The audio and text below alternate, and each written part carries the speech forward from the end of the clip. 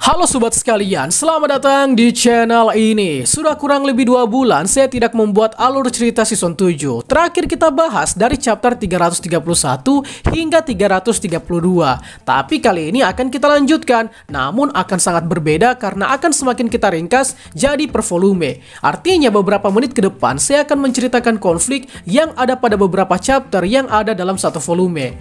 Di konten kali ini kita akan lanjutkan dari chapter 343 hingga 350 yang mana ini mencakup keseluruhan chapter di volume 35.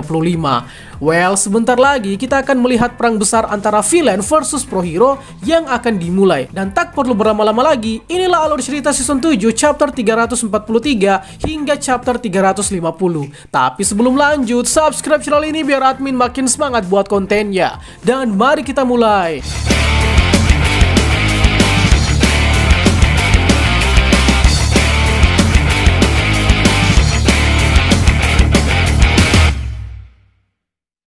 Kisah diawali dengan All For One yang berkomunikasi dengan Ibu Aoyama, di mana All For One menduga bahwa dia sedang tidak ditipu oleh Ibu Aoyama. Dalam kondisi ini, All For One meminta untuk bertemu dengan Aoyama sebab sebentar lagi perang akan segera dimulai. Beralih keesokan harinya, Aoyama kini meminta Deku untuk bertemu. Dalam pertemuannya, Aoyama membicarakan soal rencana All For One yang ingin menguasai dunia dan menjadi Raja Iblis, dengan langkah pertama All For One yakni untuk menguasai negara Jepang. Deku tentunya shock mendengar hal itu, tapi belum selesai sampai di situ. All For One dengan topeng barunya tiba-tiba muncul di belakang Aoyama. All For One memuji aksi Aoyama yang berpihak ke sisinya. Akan tetapi All For One salah kaprah, di mana ternyata apa yang dilakukan oleh Aoyama ini adalah skenario untuk menjebak balik All For One. Dengan cepat, Deku berteriak ke Aoyama dan Aoyama langsung berbalik menyerang For One dengan maksimum navel laser. Kini Aoyama dengan berani memihak pahlawan dan bertekad untuk melawan Alforuan. Alforuan yang kesal akhirnya sadar bahwa sebelumnya ternyata dia berhasil dimanipulasi oleh ibu Aoyama yang sudah bekerja sama dengan pahlawan. So Alforuan dengan cepat menteleportasi seluruh villain dan Nomu dengan memakai Quick Mode Warp. Tapi pihak Hiro juga tak ingin kalah. Kini dari belakang Aoyama muncul Neito Monoma yang tengah memakai Quick Warp Gate milik Kurogiri. Dan dengan cepat pasukan pahlawan datang menyerbu serbuan villain. Pada akhirnya perang besar villain versus hero akhirnya terjadi. Nah sebelum perang ini terjadi ternyata ada rencana cerdik pihak hero untuk menjebak For One. Hal ini dilakukan karena misi pencarian For One dirasa kurang efektif. Maka dari itu rencana untuk menjebak For One akhirnya dipilih. Lantas bagaimana cara menjebak For One? Maka dari itu inilah saatnya Hitoshi Shinso diterjunkan. Shinso dengan kostum pahlawannya kini turun tangan untuk terjun ke misi hero untuk menjebak All For One, yakni dengan cara mencuci otak ibu Aoyama dan Aoyama sendiri, agar nanti All For One tak mendeteksi adanya kebohongan. Akan tetapi timbul masalah baru, di mana Tokoyami menanyakan bagaimana langkah hero untuk menyerbu All For One secara besar-besaran tanpa ketahuan oleh All For One sendiri.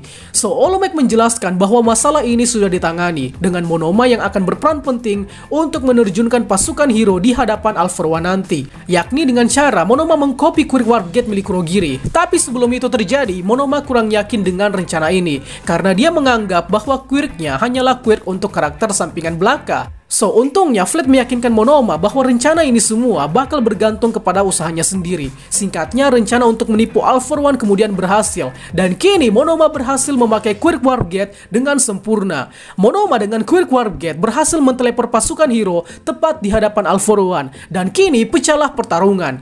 Dari sisi villain, Dabi langsung membakar lokasi dengan sangat brutal. Tapi api Dabi ini langsung diblokir dengan serangan es dari Soto. Belum selesai sampai di situ, rupanya tempat ber berdirinya para villain ini berada tepat di atas sistem Troy dan sistem Troy dengan cepat diaktifkan oleh All Might sehingga kini muncul kubah super besar yang mengurung For One dan ratusan villain lainnya. Kini Monoma bertindak untuk memisahkan seluruh villain yang sudah terkurung ke berbagai tempat dan ini sekaligus membuat rencana hero untuk memisahkan villain akhirnya berhasil. Akan tetapi, sialnya, para villain yang sudah terkurung kini berhasil merusak kurungan Troy, di mana ini membuat Toga dan Dabi berhasil keluar.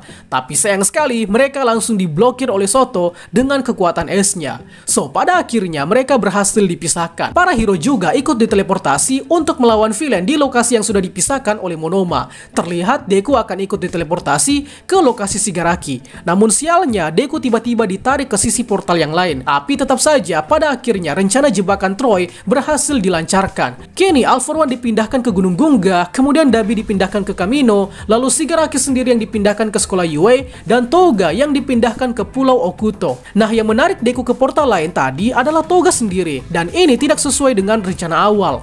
Singkat cerita, kita kemudian beralih ke sekolah Yue, atau tempat Shigaraki diteleportasi. So, Shigaraki kemudian mulai dihajar habis-habisan di dalam sekolah Yue, mulai dari serangan Yue itu sendiri maupun serangan dari berbagai hero yang ada di sana. Dalam aksi untuk melumpuhkan Shigaraki ini, ada hero yang menyerang secara langsung dan juga ada hero yang menyerang secara tidak langsung, di mana yang tak menyerang secara langsung bertugas untuk membuat sekolah Yue agar tetap aktif sebagai kurungan penyiksa bagi Shigaraki. Shigaraki juga kini tidak bisa mengaktifkan quirknya secara bebas, sebab ada Monoma yang kini memakai quirk Erasur untuk mematikan quirk Shigaraki secara paksa. So, pada akhirnya Shigaraki mengamuk dan langsung menyerang Mirko dengan brutal. Serangan Shigaraki tadi cukup membingungkan sebab seharusnya Shigaraki sudah tak dapat memakai kuiriknya sehingga ini membuat para hero menemui masalah baru. Mirko yang tangan robot dan kakinya hancur kini berhasil mendapatkan kaki tangan robot yang baru. Dalam kebingungan ini hanya Dekula satu-satunya harapan untuk menghadapi Shigaraki. Tapi sialnya untuk mentelepur Deku, Monoma harus menonaktifkan Erasur dan mengaktifkan Warp Gate. Namun itu sangat beresiko karena akan membuat Shigaraki mengaktifkan kuiriknya.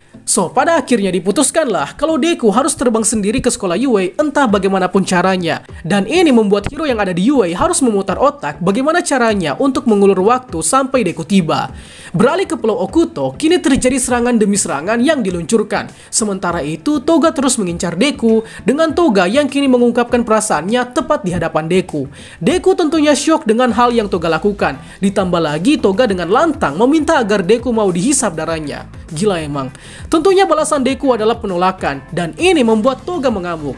Toga pada akhirnya berniat untuk membunuh Deku, tapi syukurnya ada Ochako dan Suyu yang menghalangi. So, pada akhirnya Deku berhasil kabur dari Pulau Okuto menuju ke sekolah Yue dengan kecepatan penuh. Kini Deku dengan gabungan Float dan Fajin terbang melesat dari Pulau Okuto. Dalam perjalanan, Deku berniat untuk menggunakan kurik pewaris kedua. Namun pewaris kedua langsung muncul dan melarang Deku untuk memakainya. Sebab itu hanya digunakan untuk pilihan terakhir. Kembali ke Pulau Okuto, Toga versus Ochako dan Suyu akhirnya pecah. Sementara Sementara itu di Kamino, Dabi tengah membakar satu wilayah dengan kuirknya. Soto yang kesulitan menghadapi Dabi kemudian dibantu oleh Kido, Onima, dan Barnin. Kini Soto siap menghajar Dabi. Sementara itu di lokasi lain juga terlihat spinner yang menjadi raksasa. Kemudian Dabi kini berniat untuk menghabisi Soto. Kita lalu beralih ke kantor polisi. Di sini ada Dokter Ujiko yang menjelaskan soal rencana perang yang sudah dipupuk sejak dulu. Maksud dari Dokter Ujiko di sini adalah Dabi, di mana ternyata pada saat insiden terbakarnya Dabi di puncak Sekoto, Dabi ternyata diselamatkan oleh All for One. All for One yang menyelamatkan Dabi saat itu kemudian dirawat dan disembuhkan oleh dokter Ujiko. Dan kemudian Dabi terbangun setelah koma selama tiga tahun lamanya.